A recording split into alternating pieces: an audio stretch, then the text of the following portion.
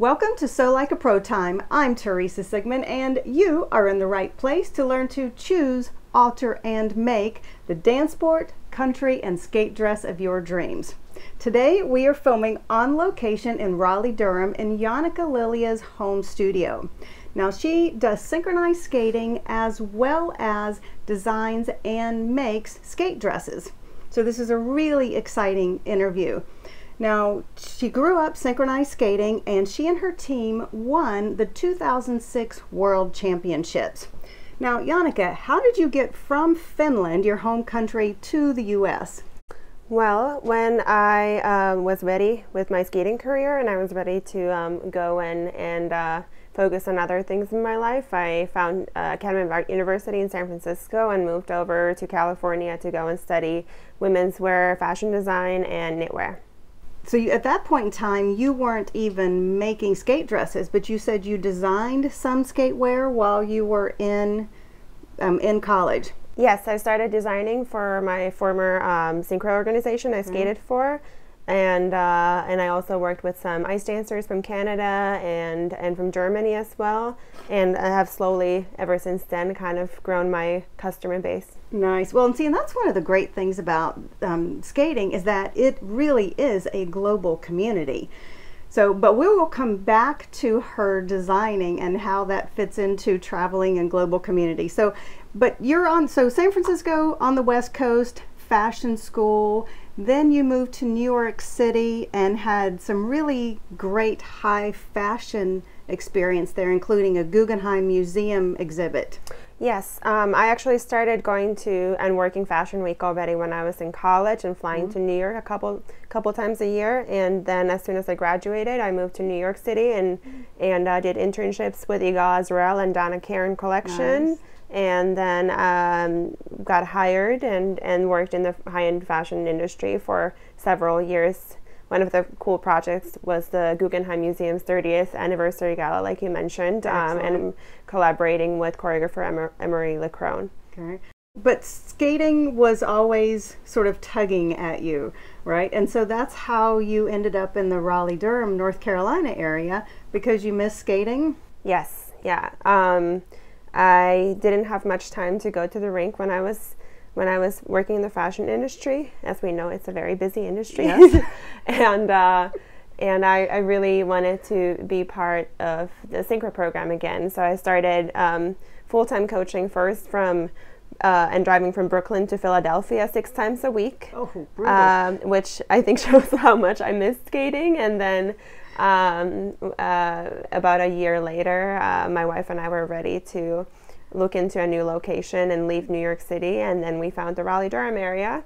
And uh, and I started my my own synchro program here. All right. So you are head coach of this for what two years now? You said yes. Um, this will be our third season, um, and my program is called Triangle Formation. We're a nonprofit.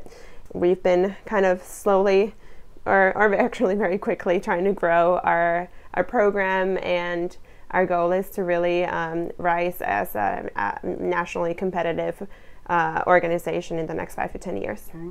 Which it sounds like, from what I've read on your website and, other bio information online, it sounds like you're really moving at a pretty fast pace there, which is great.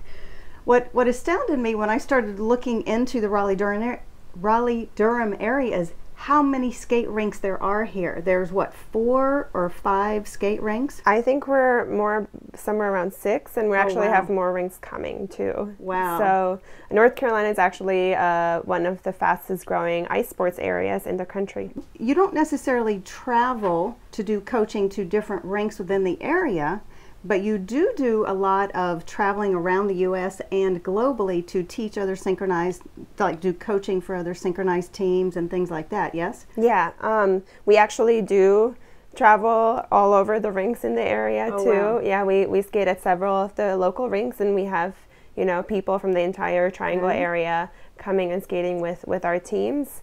Uh, and on top of that, I've been um, coaching first in the U.S., um, doing seminars and choreography with different teams, and and uh, you know last year I worked with a team in Maryland and a team in upstate New York during their choreography camp. And, and this season, I'll be traveling to um, Wisconsin, Indiana, North Dakota, and Australia. Okay, so she's really busy. so I'm very lucky to have this interview her, with her today. If you are interested in hiring Jannika to come and coach your synchro team, all of her information is below. Her website, you can contact her directly there. She's just absolutely amazing. And then there's also several links to TV shows because you just had um, some excerpts for your synchro team on a couple of television shows, yes? Yeah, we um, we were featured in ABC 11 News. We mm-hmm. did a big international camp with One Team Movement, which is another nonprofit organization nice. supporting synchronized skating uh, and trying to get us our sport into the Olympics. And those links are on her website, but I've also given you direct links below just in case you just want to watch those news clips.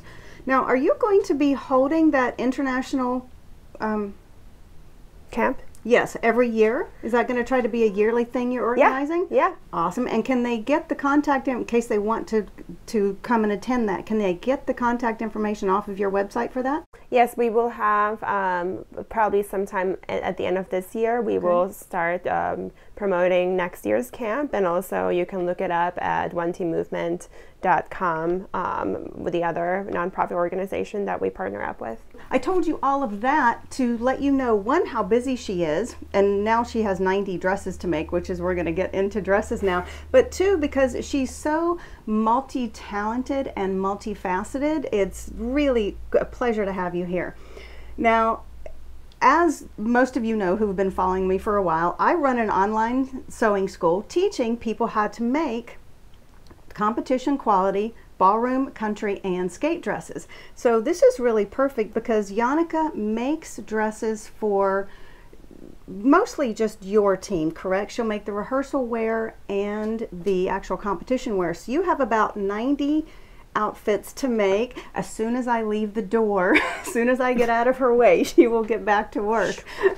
Making dresses is not your primary focus, right? Coaching is. Yes. And then you also design dresses for skaters and then just give it to them so that they can make it themselves.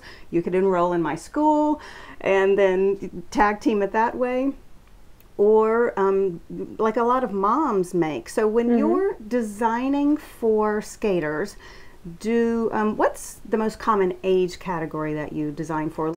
I actually just, I would say uh, teenagers and young women uh, mm-hmm. would be one of my biggest areas, but I, I really do costumes from, you know, seven year olds to uh, mm-hmm. even to women in their 40s. Okay. See, yeah. and, and this is what was great because when I retired from competitive ballroom, I started ice dancing just for fun. So there is, and with my sewing school, I focus on curves when, you know, not little children, those things are easy to make and there's hardly anything to it. But when you get to be a blossoming teenager or an adult or even, you know, someone my age who wants to get into competition, we have a whole set of design and fitting requirements that is really not covered anywhere that I've found really except here with these videos. So this is really awesome free training for you all. So where to start? Um, let's let's talk about your designing since that's what you do a lot of. Mm-hmm. When you are designing for a client, how do do they contact you from your website? How do they contact you for one? Um, hmm. I would say the synchro world is very small at the end of the day. So um, I've gotten the chance to meet a lot of amazing people and um, you know personally know i think most of the big program coaches in, in the country and, and even internationally just from being in the sport for so long and attending seminars and com- competing all over the country and so forth. So, really, a lot of my relationships have just built over time. Um, sometimes I can get a request from somebody completely new that mm-hmm. I have never met before, but it's usually just word word of mouth, mm-hmm. which is why I haven't had a chance to even make a website yet for myself. well, and it's yeah. nice that you're so busy that you don't necessarily need it. So now, let's say if someone watching this video decides that they want you to design um, a dress for them, do you do only synchronized dresses for the t- for the entire teams, or do you do also singles? I do singles. I do ice dance. Okay. I've never done pairs, but I would love to do that Okay. too. And of course, synchro. My definitely most of my customers are synchro based, Okay, um, which is you know different because it's a team versus a singles dress. And uh, you know, I also make some singles dresses uh, just for local people. Um, here and there, if I have uh, just a little pocket of time, because it's fun and it's more, you know, it's unique and it's one of a kind piece. So that's always a, a fun challenge to do. Yeah. So if you are interested in having Jannika design a skate dress for you, just again, her contact information for her website for the synchronized skate team is below. If we talk about designing for your synchronized teams or for any synchronized team, there are so many shapes and figures. What's your biggest challenge when trying to design for what, six people, 12 people, 20 people? Usually, it's uh, you know, team would be eight to twenty, Okay. depending on the level. Sixteen is the ideal team that all the you know professional teams do.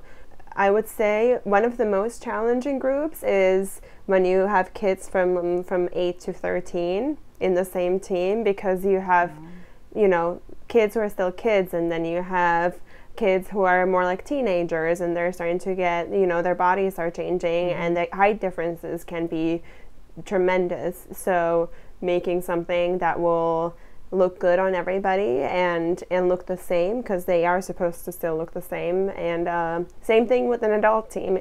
Um, there was one year that I once made an adult team's dresses, and like you said, you know, curves are very different to work with. Um, and you know, the older we get, I think the the more different shape shape bodies we have in a team too. So that was definitely the most challenging group that I ever made dresses for. when you design for the synchro team, they typically um, do um, synchronized teams typically have as many fast spins as say like a, a single skater or a pair skater. Do you have as many issues with say fabric wrapping around the legs, or do you have more freedom with skirt lengths and skirt fabrics? Uh, typically, synchro teams have more like ice dance costumes that are, tend to be a little bit longer. Um, we synchro kind of combines all of the different forms of of um, figure skating together. So with the junior and senior teams who you know compete internationally and, and have world championships and so forth, they do lifts, they do pair lifts, they do um, group lifts, they do um, some spins. They do very fast twizzle series where they move across the ice while twirling at the same time. Uh, they're constantly attaching to each other. They do some ice dance moves. They do some pair skating moves. They can even have throw uh, jumps these days. So yes, the, dresses have like have to go through quite a lot, and I think one of the biggest things is to make sure that for the big lifts that go above the head, uh, you know, there's not going to be any danger of something slipping or or not getting a good grip on on the girl who is going up. Right. And then one of the um, in our pre-interview, something that you mentioned that was interesting. That in, if I remember correctly, in the United States, you said that the synchronized teams cannot have rhinestones on their dress, but overseas they do. Can you? Am I saying that correctly? Can you Yes. clarify that? Um, there is only um, junior, senior, and collegiate level who are allowed to have uh, rhinestones on their dresses, and then nobody else is allowed to, um, which is uh, a very interesting U.S. rule. I almost feel like it's um, to avoid um, parent drama between teams, because I could see that being an issue here. But um, yeah, that's it's kind of a shame because you know the the kids love to sparkle and they Right. it's always fun, and then they see other countries' teams who are the you know the same level as they are skate in these beautiful sparkly rhinestone dresses, and and they wonder why can we never have that? Right. Well, it, I, I think probably a lot of the um, trying to minimize parent drama is probably a really good point. It also keeps the cost down. Yeah. It's less stressful for the parents. Uh, I mean, I know in the ballroom world they have certain age categories and dance levels. So, like all the beginning people can't wear rhinestones and they have to wear very specific modest dresses because they got so, especially for Latin dancing, they got so far out of whack. They look like grown women and they were eight. So I imagine for American children that's really frustrating to have no rhinestones and then see somebody else's dress with, you know, thousands of rhinestones on yeah. it. Yeah, and it really goes all the way up to the teen, you know, uh, older teenager and y- even young adult categories. Wow. The same rules. It's just these very highly competitive teams who get to do that. So the very highly competitive teams would be the ones that compete on a on a the global circuit. Yes. And yes. if the if synchronized skating can go into the Olympics, then they would of course then sort of be one of the first ones to go in then.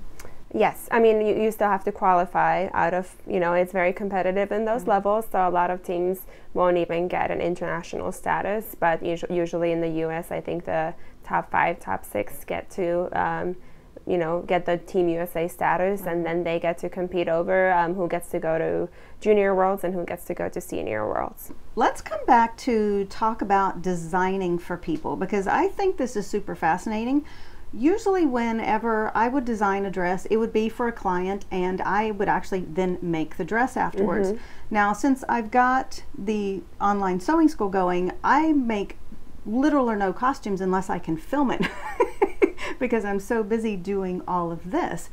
But my pro- so I'd like to compare processes basically mm-hmm. because I think it does take a while for up and coming designers or even for people who make their own dresses making a decision on the design is the most painful part for me and I think for a lot of women because you can have that as my skate coach used to say you could have paralysis by analysis my skate coach would say just do it already stop thinking about it but so let's say for a client if mm-hmm. I called them or they, they contacted me I would arrange a time to talk on the phone and I would ask them 20 or 30 specific questions so I could get to know them, their body shape, their body size, and and go from there. And then I would design three sketches based on everything they told me and some photos that they searched through. I would send them high fashion images. Mm-hmm. Say, now which of these high fashion images do you like and why? So I could get a, a visual idea of what it is they like. I would do the three sketches for them, send it off to them with the fabric samples, and say, pick your sketch and which fa- first and second choice fabric. And then we could make a change after that if they wanted to, and then I would basically just start making the dress. Your process is completely different, so would you tell us all about that, please?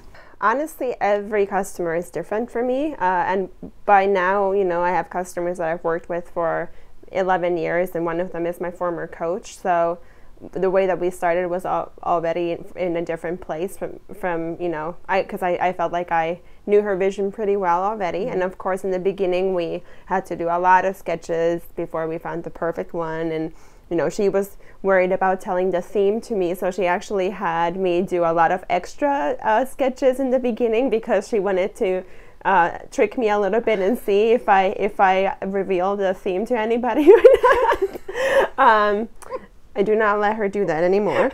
That's a lot of time. I know. This was also, you know, I was still in college, so it was okay. Oh, but um, yeah, now we have a pretty straightforward process. Sometimes it takes a really long time to find the right design. Mm-hmm. Um, you know, for example, her she likes to send me some reference images that she finds.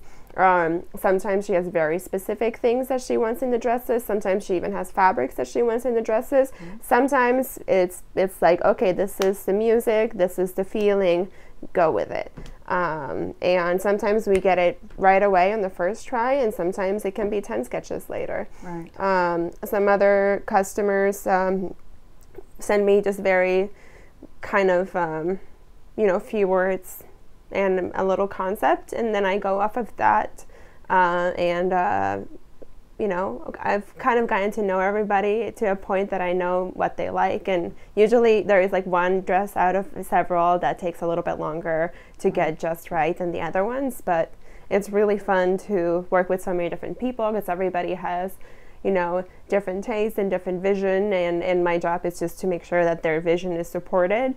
Um, and, uh, so basically, after we um, work out the design, I usually do it with fabrics in mind already. So I will, the first thing that I look at when I start a design is, okay, what fabrics would work with this? And then I kind of go off of that. Sometimes, sometimes it can be, um, that the design comes first and the fabrics are found second. But I always find that a little bit more challenging because you might not find what you need. Oh yes. Um, and I have some some fabric people in New York that I like to work with and and send my customers to too. So once the design is finalized, um, I will put together kind of like a little design packet uh, with some main construction notes that I want the, the costume maker to see. Uh, sometimes it can be how to cut the skirt or, um, you know, how many inches some trim is. Um, and, uh, you know, pair it with the fabrics. And uh, we have to, of course, plan out the closures and how you get in and out of the mm-hmm. dress. That's another thing that's always a little uh, different with skating costumes because they're so tight fitting and and you don't want ugly zippers to show from the back and so forth. So I, I try to do dresses with no zippers if possible. Uh, sometimes a zipper can be a lifesaver and can make everything a lot easier. Uh, but of course, you have to be careful that you don't have any buckling in the back. Mm-hmm. And um, yeah, and then sometimes you know there can be a setback. Maybe the the fabric is out of stock, or um, you know something changes, or it doesn't look as good on the ice as we planned it to, or the color is off or, or something, so we have to go back and fix fix it. So when you're doing yeah. all of that, do you charge by the hour? Do you charge by the design? Because that sounds like you have a really wide variety of options for people basically when you design. They could mm-hmm. just take a design and that would be easy for you, maybe a couple of hours. Or you could literally tell them, like you said, the construction and or make a lot of design revisions or even you know change it after the fact after it's already been worn. So how do you how do you price for that and how do you time budget? Because it's got, there's a lot of variables. What one thing i found as a you know creative person is that it's really hard to know how much something is going to take when you're designing when you're being creative. Yeah. it can be an hour or it can be 10 hours. Mm-hmm. it really everything is different. So I just have a set uh, design fee, and usually I would say I can do five to eight revisions of the sketch if I really need to. That's pretty rare. Usually it's it's one to three, um, but there has been some cases where you have to go back a lot. Yeah. Do you also make patterns for people and sell them the patterns, or just the designs? I don't make patterns for people, yeah. just for my own dresses, of course. Yes. But no, patterns are just for me. okay. And that's one of the, the things that I get a lot of emails from, and people find me on YouTube. So in the sewing school, I literally created a blueprint system teaching them how to make a custom pattern for themselves just for you know the, the extra small how mm-hmm. it's how much smaller it is it's really body shape size and then how to use it for country ballroom skate and how to use it for different designs because that is a huge issue for a lot of people trying to make their own dresses or when moms try to make it for their child or even for themselves. Mm-hmm. I actually have so many questions, but you have a bunch of dresses to make. So, is there anything that I have not asked you that you would like to say before we wrap up? What, like some key things I would say to keep in mind when you design for a team on ice is uh, really think about how much stuff is going on in the dress sometimes little details can look very good even for, from far away, but a lot of times I see, you know, so much little stuff that it doesn't really deliver when you see it from, from further away. It's in synchro, you wanna you don't want to be right by the eyes. You want to be a little bit higher up so you can see all the beautiful elements from above, but still close enough that you can see the emotion and the expression.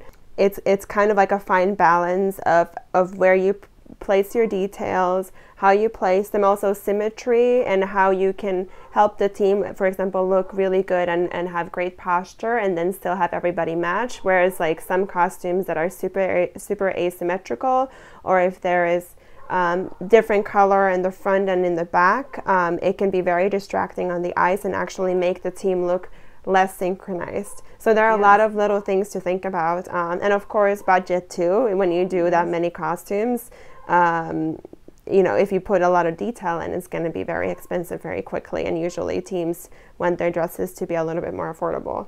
See, my favorite takeaway out of that was actually the the whole as- asymmetrical thing. Whereas, so a lot of times the front and the back, you would want to look similar then so that as they are facing different directions they still have a very uniform Mm-hmm. look so that that's actually my favorite takeaway because that's not something i would have thought of until i had made them and designed them and gone oh well that is doesn't work at all Yeah, but sometimes that can also be an Wow. effect if you have a very skilled team who can handle it and where Mm. you can use that. That can be something that you use in the choreography. Okay. So know your customer, I guess, Right. and uh, you know work with the coach um, or whomever you're you're designing for to make sure that that it's going to work for that team and that team's skill level Right. too.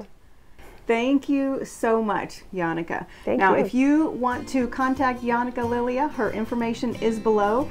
If you have found value in today's video, please share it with all of your dancing, skating, sewing friends and go to sewlikeapro.com. Leave me your name and email address. I'll make sure that you always receive information about whenever I release a new video or the sewing school or other fun stuff that I come up with. Leave a comment at the bottom of this page. Tell me what your big insight and takeaway is on this. If you happen to be watching this on YouTube, please go ahead and subscribe and hit the share button. So that is it. Thanks again to Jannika for being here. This is such a treat. Oh my gosh, this is awesome. But Thank anyway, you. we will see you again another time.